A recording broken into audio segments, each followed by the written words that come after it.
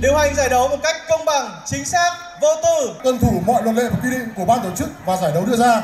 Xin nữa, xin nữa, xin nữa. Trịnh Trọng tuyên bố khai mạc giải đấu các câu lạc bộ gôn Hà Nội Pinh Cup 2022.